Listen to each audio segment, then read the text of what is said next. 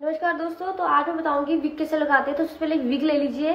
कोई भी सस्ता, सड़ा हुआ, खराब वाला, कोई फ़र्क नहीं पड़ता, क्योंकि ऑनलाइन आई मीन कैसे पता चल रहा है क्या खराब है। ओके तो इसका ये कुछ लगा हुआ है यहाँ पे, कांटे टाइप का। इसको बाड़ों में घुसा लीजिए, ऐसे करके, ठीक है? ठीक है? और नीचे कोई कैप है, उसको ऐसे सटाक जानी खींच लीजिए।